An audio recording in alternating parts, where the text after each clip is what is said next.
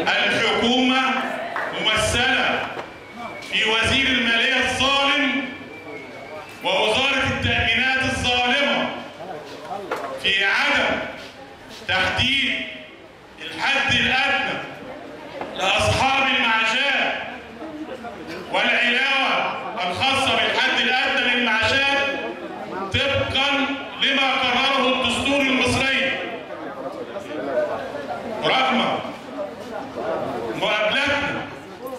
المتكررة للمسؤولين بدءا من رئيس الوزراء بوزيرة التأمينات ثم اللقاء الكبير الذي تم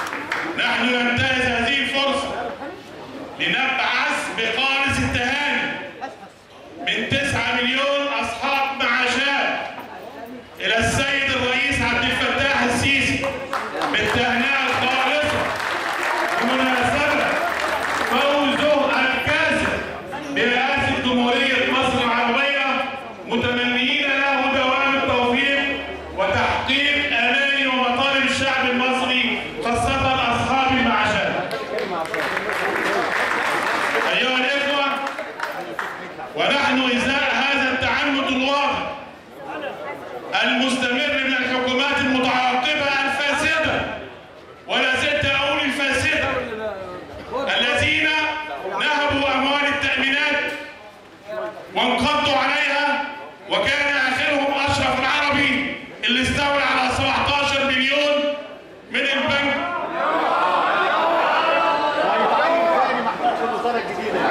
من بنك الاستثمار من أموال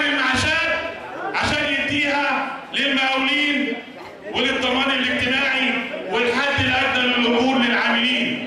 متناسيا إن هذا الحق وهذه الأموال هي من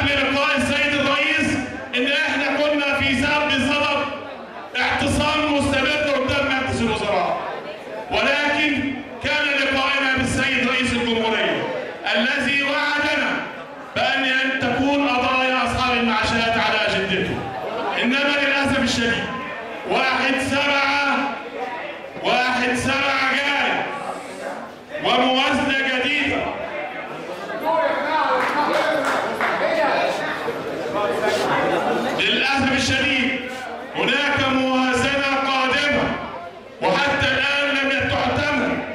إنما الموازنة القادمة في واحد سبعة.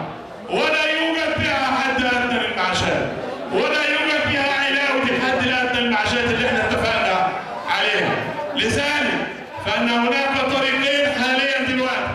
هناك بلاغ مقدم للنائب العام الأستاذ البدري فالغني بصفته رئيس الاتحاد